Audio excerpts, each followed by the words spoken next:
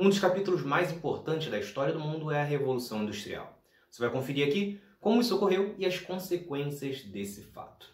Primeiramente, é preciso falar da expansão do comércio internacional nos séculos XVI e XVII. Afinal, foi isso que gerou o aumento da riqueza para a burguesia e permitiu a acumulação de capital para a instalação das fábricas.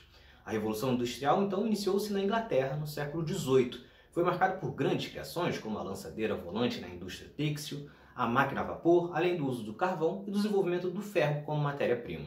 A Revolução Industrial pode ser dividida também em três fases nesse contexto histórico. A primeira aconteceu entre os anos 1760 e 1850. Foi exatamente o período de grandes avanços em tipos de indústrias, com uma produção mais rápida e sistêmica com o uso das máquinas.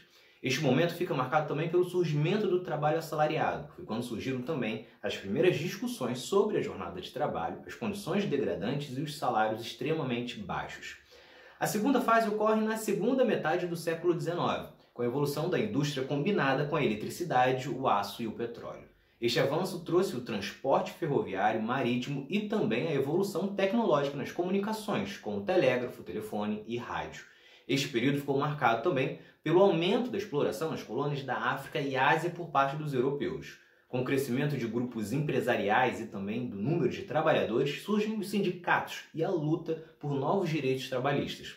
Já a terceira fase acontece nos meados do século XX, logo após a Segunda Guerra Mundial, em que surgem novos tipos de indústrias, como eletrônica, cibernética, biotecnológica, petroquímica, aeroespacial e química. Com isso, houve um grande avanço tecnológico, lançando novos produtos e serviços. Portanto, a Revolução Industrial trouxe grandes transformações para o mundo, mas também trouxe outros impactos.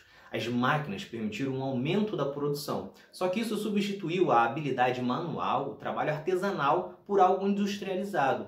Consequentemente, o ganho salarial desse trabalhador foi reduzido, porém o custo de vida não acompanhou esta redução.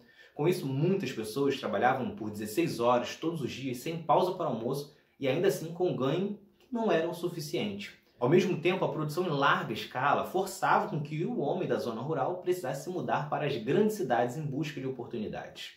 Este processo gerou um crescimento populacional desenfreado nesses locais. Consequentemente, trouxe a miséria, a marginalização e outros problemas sociais. Esta crise social gerou diversos movimentos sociais, como ludismo, cartismo, socialismo, entre outros, a lutar por melhores condições de vida e de trabalho.